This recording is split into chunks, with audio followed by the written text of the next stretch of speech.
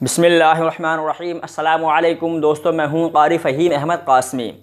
और आप देख रहे हैं आपका अपना यूट्यूब चैनल आसान उर्दू एस बी एल मेरा अज़ीज़ दोस्तों इस्तफ़ार के बारे में मैंने बहुत सी वीडियोस बनाई और अल्हम्दुलिल्लाह, उन वीडियो पर मुझे अच्छा रिस्पांस मिला है। मैंने अपनी पिछली वीडियो में एक आयत करीमा का ज़िक्र किया था और अपनी पिछली वीडियो में मैंने ये बताया था कि जो इस्तफ़ार कसरत से करते हैं तो दुनियावी ज़िंदगी में उनके साथ क्या क्या होता है? और कुरान करीम की कौन सी आयत इस बात की गवाही यानी शहादत देती है? दोस्तों, आज की वीडियो में मैं कुरान करीम की उसी आयत का ज़िक्र करूँगा और उसका मुख्तर की तफसीर भी आपके सामने बयान करूँगा। तो बने रहिए आप हमारी वीडियो में आखिर तक।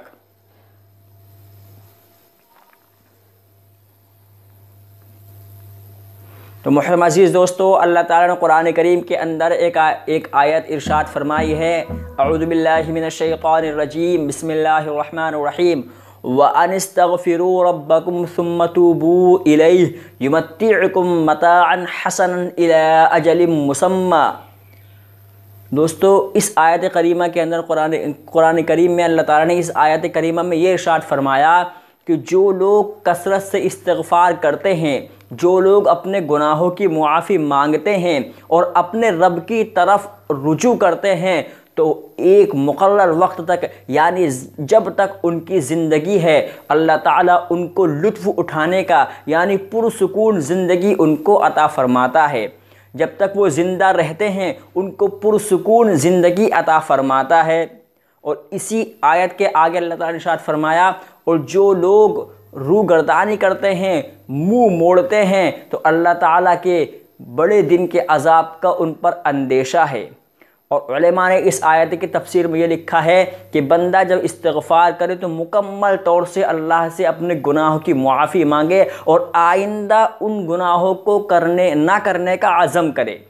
आइंदा उन गुनाहों को ना करने का आज़म करे। यानी एक तो इस्तफ़ार मुस्तकिल करे, दूसरी चीज़ जो गुनाह हो चुके हैं, उन पर नादिम हो, उनसे तौबा करें और आइंदा उनसे ना करने का आज़म करे कि अल्लाह ताला मुझसे फ़लाँ गुनाह हो गया, अब मैं इससे तौबा करता हूँ और आइंदा इस गुनाह को नहीं करूँगा। मुँह मोड़ने का मतलब ये है कि आदमी गुनाह करता रहे, फिर तौबा कर ले, फिर गुनाह करे, फिर तौबा कर ले तो ये इस्तफ़ार कबूल नहीं होता। यानी इस्तफ़ार आदमी मुकम्मल तरीके से अपने गुनाहों से बचता रहे और अल्लाह की तरफ़ रुजू करे और अल्लाह की तरफ़ रुजू करे और अल्लाह से माँगता रहे तो अल्लाह ताला उसकी दुनियावी ज़िंदगी में पुरसकून आता फरमा देते हैं। जैसे कि अब मैंने अपनी पिछली कई वीडियो में कई सारे वाक़ात आपके सामने ज़िक्र किए हैं, जिनका मुख्तसर लिंक मैं अपने डिस्क्रिप्शन बॉक्स में दे दूँगा। और एक प्ले लिस्ट आसान उर्दू एस बी एल इस्तफ़ार की फजीलत बाय आसान उर्दू एस बी एल उसका भी लिंक मैं आपको डिस्क्रिप्शन बॉक्स में दे दूँगा। आप मेरी वो वीडियो जाकर देख सकते हैं कि अल्लाह ताला इस्तफ़ार करने वालों से किस तरह खुश होते हैं और अल्लाह ताला इस्तफ़ार करने वालों से कैसे कैसे उनको नवाजते हैं और कैसे कैसे उनको अता करते हैं।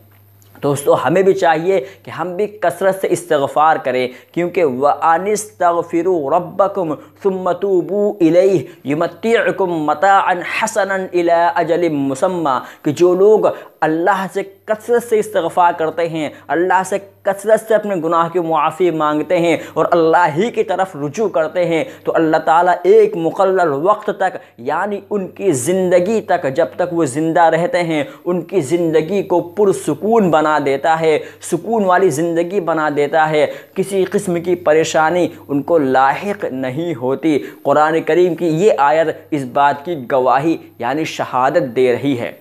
जो दोस्तों हमें भी चाहिए कि हम भी इस्तफ़ार करें और अल्लाह की तरफ़ रुजू करें और अल्लाह से अपने गुनाहों की मुआफ़ी मांगते हुए आइंदा उन गुनाहों को ना करने का आज़म करें।